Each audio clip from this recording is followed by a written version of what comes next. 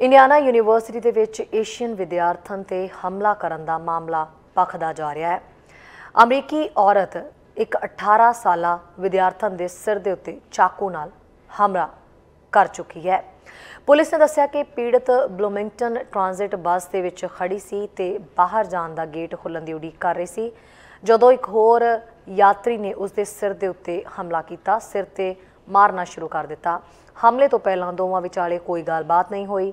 Report ਵਿੱਚ ਕਿਹਾ ਗਿਆ ਹੈ ਕਿ ਜਦੋਂ ਤੱਕ ਹਸਪਤਾਲ ਦੇ ਕਰਮਚਾਰੀਆਂ ਨੂੰ ਪੀੜਤ ਦੇ ਸਿਰ ਦੇ ਵਿੱਚ ਚਾਕੂ ਤੇ 7 ਜ਼ਖਮ ਨਹੀਂ ਮਿਲੇ, ਉਦੋਂ ਤੱਕ ਮੁਲਜ਼ਮ ਨੂੰ ਬੈਟਰੀ ਦੀਆਂ ਰਾਡਾਂ ਦੇ ਨਾਲ ਰੋਕਿਆ ਗਿਆ ਸੀ।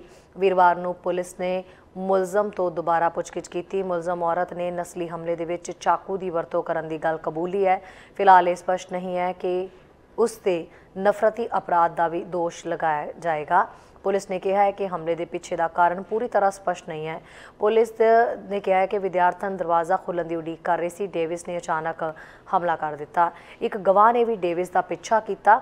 ਵਿਭਿੰਨਤਾ ਇਕੁਇਟੀ ਤੇ ਬਹੁ ਸੱਭਿਆਚਾਰਕ ਮਾਮਲਿਆਂ ਦੇ ਲਈ ਇੰਡੀਆਨਾ ਯੂਨੀਵਰਸਿਟੀ ਦੇ ਉਪ ਪ੍ਰਧਾਨ ਜੇਮਸ ਵੈਂਬਸ ਨੇ ਇੱਕ ਬਿਆਨ ਦੇ ਵਿੱਚ ਕਿਹਾ ਹੈ ਕਿ ਇਸ ਹਫ਼ਤੇ ਬਲੂਮਿੰਗਟਨ ਦੇ ਵਿੱਚ ਏਸ਼ੀਅਨ ਵਿਰੋਧੀ ਨਫ਼ਰਤ ਇੱਕ ਅਸਲ ਹਕੀਕਤ ਬਣ ਗਈ, ਜਿਸ ਦਾ ਵਿਅਕਤੀਆਂ ਤੇ ਸਾਡੇ ਭਾਈਚਾਰੇ ਤੇ ਦਰਦਨਾਕ ਪ੍ਰਭਾਵ ਪੈ ਸਕਦਾ ਹੈ।